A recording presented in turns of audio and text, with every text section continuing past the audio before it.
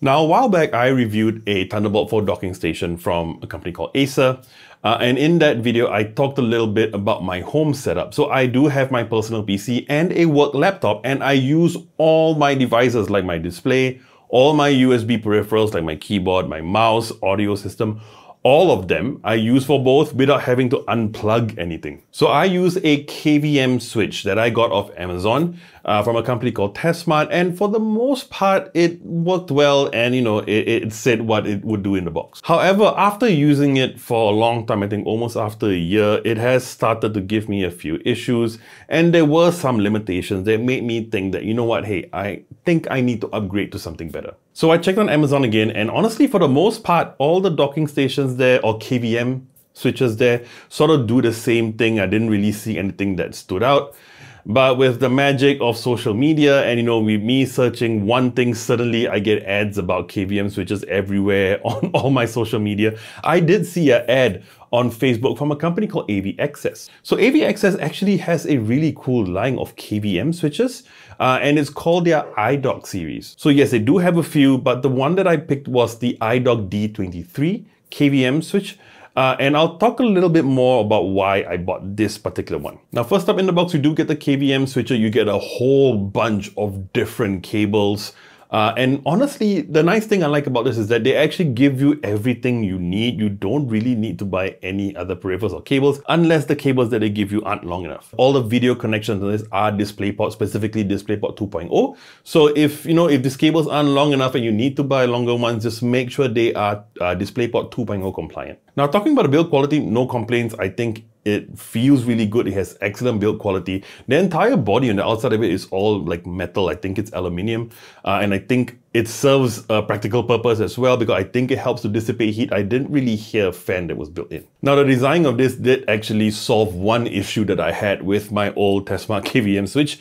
Uh, and it was really slim, which was nice, but it was really long and took up a lot of space on my desk. This one is a little fatter, it's a little taller, but it's a lot uh, shorter as well. It's not as long and I think that's perfect for my setup. It gives me a lot more space on my desk now that I can even have an extra uh, power strip there, really nice. So this is not going to be a guide on what to plug in. It is pretty straightforward, but what I would say is if you're not familiar or this is the first time you're doing it, uh, just read through the entire guide. It is very detailed and very well thought out, I would say, for a guide. Uh, so well done, AV Access. So in terms of ports, like I mentioned, all the video ports are DisplayPort 2.0. You also get uh, about three USB-A 3.0 ports, two at the front, one at the back. All of this have a bandwidth of about 5 gigabits per second. Now you also get two USB-A ports just at the bottom of the dock and it's actually USB 1.1. Now this is specifically for your keyboard and mouse. Now this actually has a really nice feature uh, where you can actually toggle between the two computers with your keyboard regardless of what keyboard you have.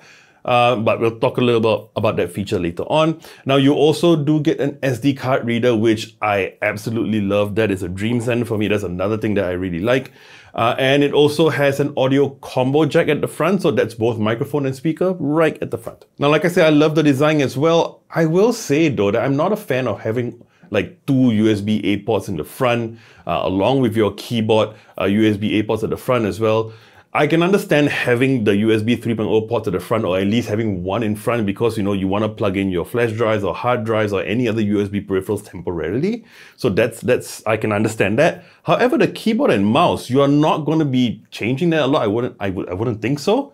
So I would have preferred those USB-A ports to be at the back because now with all the cables, including the audio cable on my dock that's all plugged at the front, it's a little bit of an eyesore. And if you're one of those that is really particular about making your desk look really minimalistic and hiding all your cables, you're not gonna like this one. However, for me, it's not a deal breaker. I don't really care too much. Uh, and it's really, like I said, it's really important to have, you know, some USB-A ports or at least have one in front. Like for example, if you needed to transfer some files from one PC to the other, you can actually plug in your hard drive to the front, go to one PC, copy everything to the hard drive, and then just switch to the other PC and then transfer it over. You don't have to plug and unplug your hard drive. That's really nice. However, there's one thing you need to take note of, and I made this mistake twice now. It doesn't uh, make the hard drive detectable to both simultaneously. All right. So if let's say you go to PC1, you plug in your hard drive and you're copying stuff over, do not switch to the other PC. If you do, it'll cut the connection to the hard drive and connect it to the other PC. All right. Like I said, I made this mistake twice. And it's not just one USB A port. Most of the ports are like that. They are only detectable to that one PC that it is assigned to. Now, having said that, it does have a LAN port at the back. So it has an RJ45 or Ethernet port at the back, and that supplies Ethernet or internet to both PCs at the same time. So that's the only one that sends to both. And that is fantastic because that was a little concern of mine. Like, do I switch? Am I going to lose internet connection? No, you're going to get it on both. So I think that's absolutely fantastic. Now, before I mentioned that I specifically picked the iDock D23, not that it was perfect for me, but it had the best features out of what I was looking for. Now, first of all, my old KVM switch only had a single USB port for peripherals, which was ridiculous. I don't know why it was only one, and it was USB 2.0. So yeah, and I worked with it for a while, but enough was enough. I needed more USB ports with a better bandwidth and speed. The other important thing was that, you know, I need to plug in both a PC and a laptop. And you might be wondering, there is the iDock C20 that is specifically for one laptop and one PC. So that means that, you know, it connects to the PC via your video cables plus a USB cable to the PC, you know, to send over the USB peripherals. And then the other one is just a single USB-C, really nice. However, for me, there are a few problems with that. So first of all, my work laptop supports Thunderbolt 4 and I kind of need it to send, you know, my laptop screens to two 4K screens. So uh, I was still going to use my Thunderbolt 4 docking station regardless. So I decided not to get the C20, but not just that, because the, the C20 and the C10 as well only support dual screens.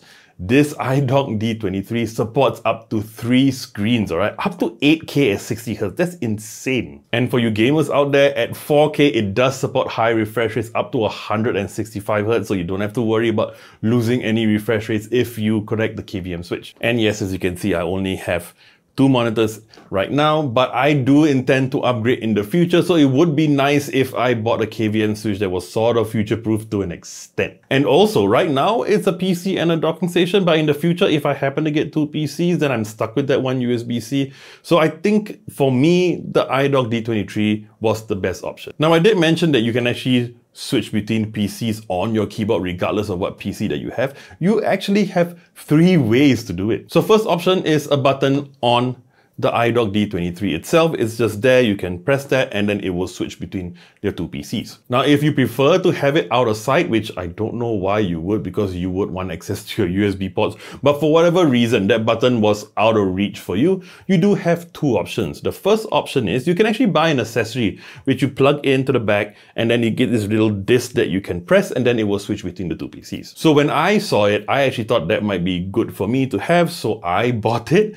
Uh, but then later later on, when I actually bothered to read through the manual and read through all the details, I realized that I actually didn't need to. Which brings me to my third option. You can actually switch between your two PCs just on your keyboard. It is really great. It has this hotkey feature that I don't think I've seen on any other KVM switch. So I think you can sort of customize it how you want, but the default option is to hold tab, press 1 to go to PC 1, tab 2 to go to PC2. That easy. So you might be wondering, if they have that option on the keyboard, why on earth would you bother selling this other button to switch between PCs?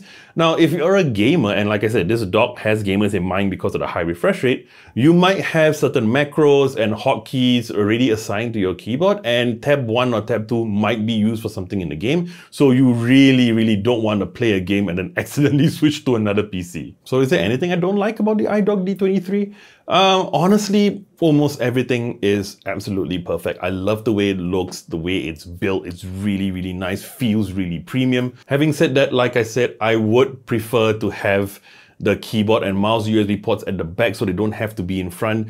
Even the audio combo jack, I'm, I'm not a fan. It would be nice if they had two options, one at the front and one at the back, which didn't have to work simultaneously, but work depending on which one's plugged in. I don't like the, the, the fact that there's so many ports in the front, you know, so once I have everything plugged in, it's a little bit of an eyesore. And the other thing was, this is the only KVM switch in their line, and actually in, it's the only one in most KVM switches I searched for that didn't have EDID or EDID for short. So if you're not familiar with EDID, it stands for Extended Display Identification Data. It's sort of an emulator. So when you plug in two PCs, it sort of has them both connected to a emulated display at the same time, even though you're not using it. So it has a few benefits and I'm not too knowledgeable about that. But the one thing that's important in a KVM switch is that it helps to switch between the two PCs a little bit quicker. And honestly, it was kind of obvious that it didn't have it. Now on my old KVM switch, you know, when I just press the button to switch from one PC to the other, it does take a little bit of time, but it is quite seamless. However, for the iDock D23, it takes a little bit longer and the whole transition is a little weird. Like when I switch from one PC to the other, it goes really small in one quarter of the screen and then it goes out and everything sort of needs to adjust to scale. So I could be wrong about this and if anyone knows more about this than me, please do feel free to correct me. But I think the reason why that switch is a little slow and a little bit weird is because it doesn't have EDID. My guess would be because this is the only one that supports 8K, so it could be that resolution that causes an issue and maybe that's why it doesn't work with EDID. It could be. Is it a deal breaker? Not by any means, not, not for me at least. So I have to say, well done AV Access. I think the iDock D23 might just be the best you know, KVM switch on the market today, let alone the, the best bang for buck. I think it's fantastic. It's built really well. Design is great. I do have some minor things that I don't quite like about it, but honestly, with what else is there on the market today, I think this is still the best. So it is going to get a 4 out of 5 stars and of course our Technobabble recommended logo. Alright, so that about wraps up my review of the AV Access iDock D23. Now if you like this video, you know what to do and I would love it if you would subscribe to our channel and hit the bell icon to receive notifications on our next video. I'm JP and I'll see you real soon.